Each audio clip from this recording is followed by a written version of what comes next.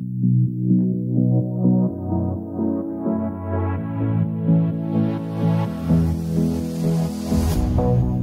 my name is Elliana Walmsley, and thank you so much for watching Hollywire.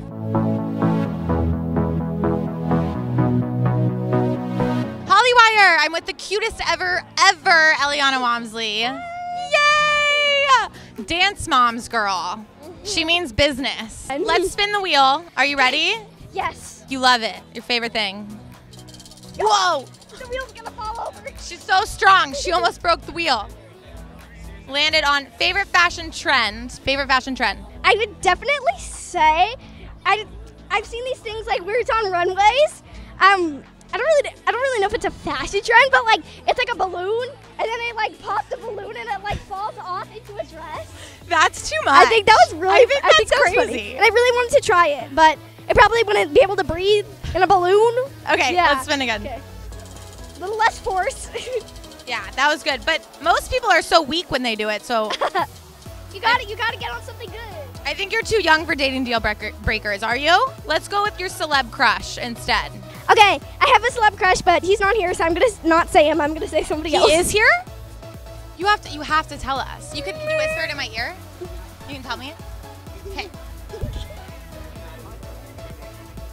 Oh, he's a cutie. You guys will never know, but he's super Watch cute. it, Watch you put it in. What about? Are you like a Shawn Mendes girl? Yes. Oh my god. Yeah, I forgot about him. Who No not Who Oh my isn't? gosh, I love him so much. I can't believe he's like only like 20.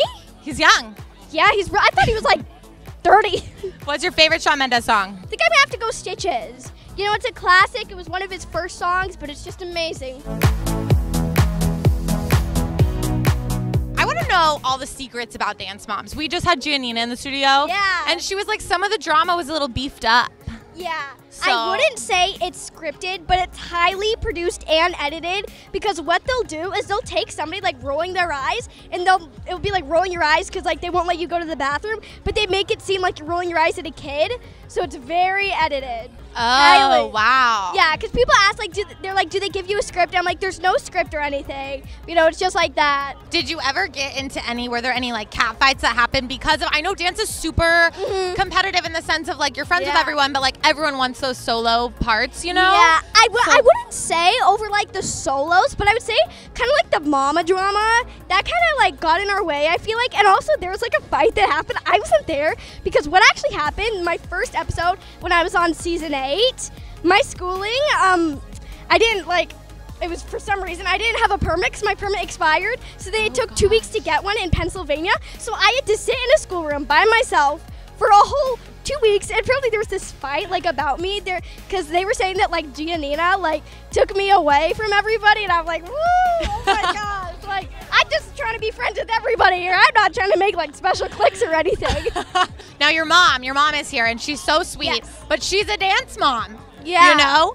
What are times that your mom's like really gone to bat for you, stuck up for you, are kind of, you know, I would say like when Abby would say like pro- some like she's usually nice but like you know what she would say is like she?